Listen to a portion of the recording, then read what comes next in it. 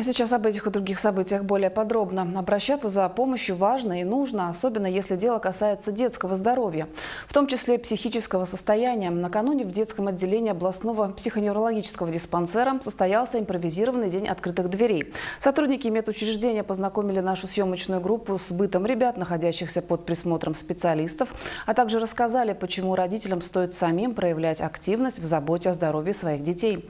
Подробности у Елены Старостиной. Уютные комнаты для отдыха и сна, удобные для обучения классы. На первый взгляд и не догадаться, что в этих красочных стенах проходит лечение детки с проблемами психического здоровья. Третье отделение областного психоневрологического отделения сегодня заполнено почти на 100%. Из 50 коек занято 45. Лечение проходят ребята с различными диагнозами, в том числе с современными. Сейчас у нас больше детей стало э, в зависимости от гаджетов.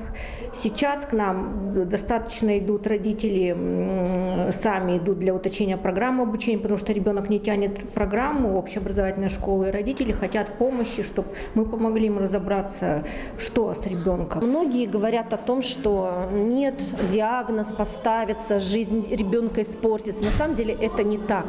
У нас с депрессиями лежат, у нас со стрессами, стрессами детки находятся, с тревогами. То есть, пожалуйста, у нас есть разные способы оказания медицинской и психологической помощи. Специалисты говорят, обратиться за помощью не стыдно и не страшно, когда на чаше весов здоровье собственного ребенка.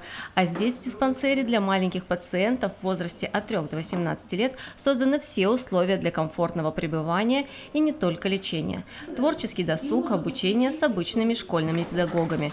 К слову, именно проблему с учебой могут привести ребята и их родителей в психоневрологический диспансер. Есть дети впервые, э, которые поступают для уточнения диагноза, чтобы уточнить э, в последующем дальнейший образовательный маршрут, программу обучения, чтобы мы более э, точно помогли психологам с медико-педагогической комиссией, педагогам школ выяснить все-таки, где ребенок должен обучаться дальше. При этом поддержку специалистов дети могут получить не только в рамках диспансеризации. Психиатры, психологи оказывают помощь и в амбулаторных условиях. Помощь нужна всем. То есть помощь нужна всем. Даже если ребенок не обращается, допустим, к нам за помощью, да, а, но тем не менее а, наши службы работают вне нашей, так скажем, больницы, да, то есть это Грязнова 30, это Лучик, да, наш дневной стационар на Ленина 136. То есть туда может обратиться любой человек, любой родитель с ребенком с любыми проблемами. Это не обязательно там депрессии, да, то есть это даже какая-то проблема, например, ну, непонимание друг, да, э, дети не понимают родители, родители детей. Обратиться за помощью родители могут в диспансер, где специалисты подробно проконсультируют, а также подскажут, что делать дальше.